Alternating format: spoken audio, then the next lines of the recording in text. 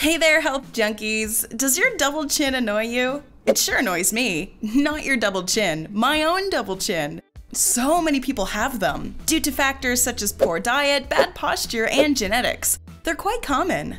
While there's nothing to be ashamed of, having a double chin can certainly lower your confidence. While the dad bod seems to be in, everybody wants a smaller, more defined face. Let's talk about some great ways to get rid of that double chin. Should I drink water? How about cutting calories? Wait, does chewing gum help? We're talking all that and more, so stay tuned. Number 1. Drink water. Drinking water can be one of the easier ways to say goodbye to that irritating chin fat. You're already suggested to drink 8 ounces of water per day, but when your goal is to lose weight, downing water and staying hydrated is one of your best bets. Get a load of this. Multiple studies have shown that consuming 17 ounces of water in one day can actually lower your metabolism between 24 to 30%. That's just around 500 milliliters. There's also evidence showing that drinking a glass of water a half hour before meals can reduce the number of calories you consume. This is especially beneficial if you're obese.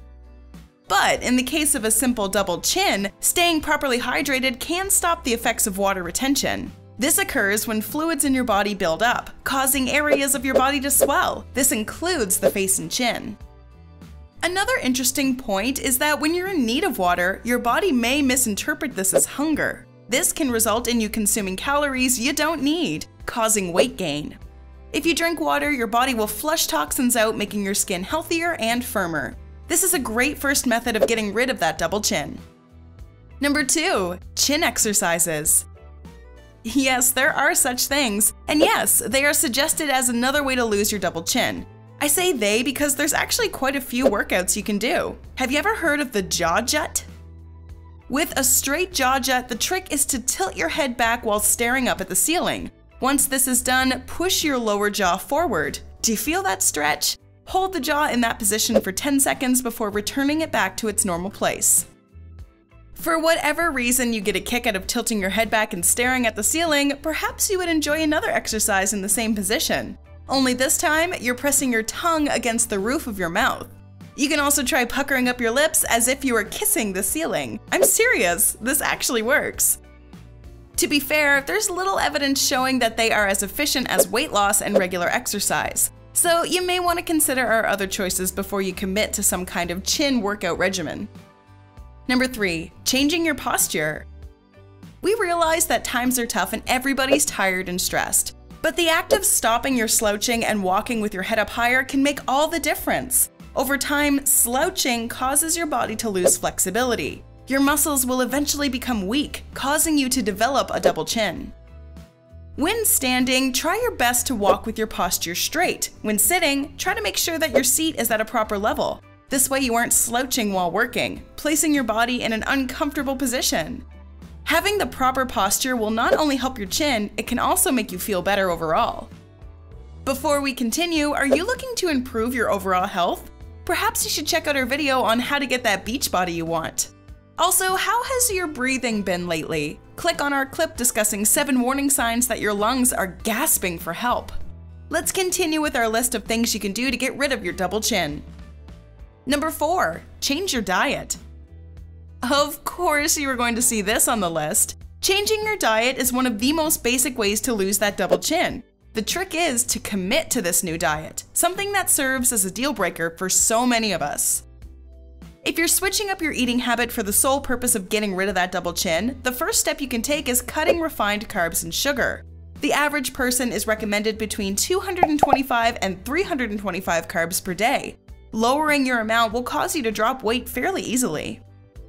The hard part is you're gonna have to say goodbye to some of your favorite foods. This means no more bread, pasta, cereal, or beer. Oh, the humanity!